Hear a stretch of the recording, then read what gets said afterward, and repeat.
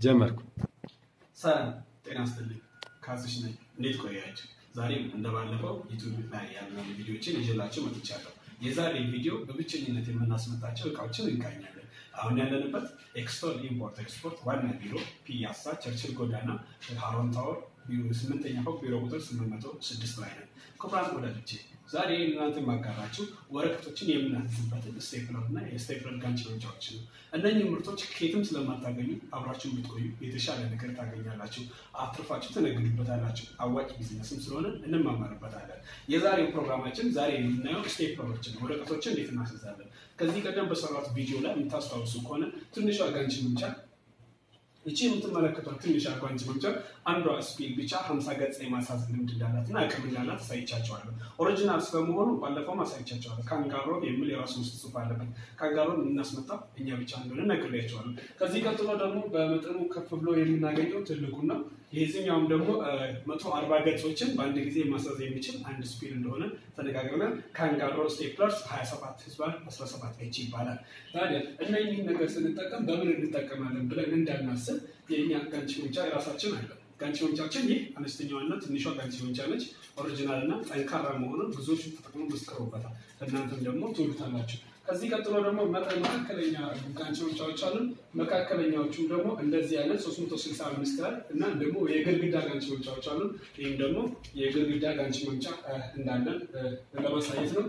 በዚህ ጋር እንደምትመለከቱት መካከለኛው ቅድም እንዳሳያችሁት ይሄም እዚህም ጋር አለው 365 ያለ 335 አለ 210 አለ።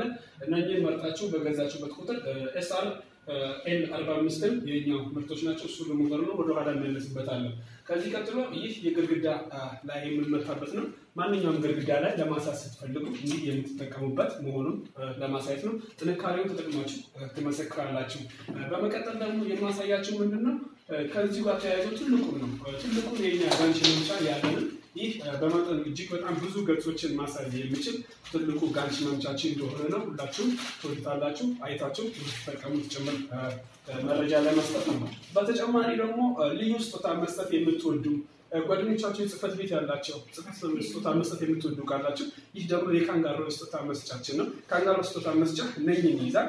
በዚህ set ውስጥ የምትመለከቱት puncher፣ ስፒድ፣ ሪሙቨር እና ስቴፕለር አለ። እነዚህ gift በመስጠታት ስጦታ መቀየር እንደምትችሉ ጭምር ኤክስቶል ያሳያችኋል። ከኤክስቶል ምርቶች ውስጥ እንግዲህ በብዛት ያው እንዳሳያቸው የካንጋሮ original ምርቶች ሲሆኑ እነኚህ ደግሞ ፓንቸሮች ናቸው። በየይዘቱ ያለ ነው። ይህ ትንሹ አምስት መቶ ሀያ puncher ሲሆን ሌሎቹም እዚህ ጋር ከስር ያሉ ከዚህም የሚያንሱ እና መካከለኛ ፓንቸሮች አሉ። ትልቁ puncher ደግሞ የምትመለከቱት puncher ነው። ኮዱ ስምንት መቶ ነው። ካንጋሮ ስምንት መቶን ብላችሁ ብትጠይቁ ታገኙናላችሁ። በመቀጠል ደግሞ እላይ ላይ የምትመለከቱት ሰባት መቶ ሀያ ከዚህ ትንሽ ከፍ የሚል ነው። አምስት መቶ ከሀያ ካለበት ሰባት መቶ ሀያ በመጠኑ ከፍ የሚል puncher ማግኘት ትችላላችሁ።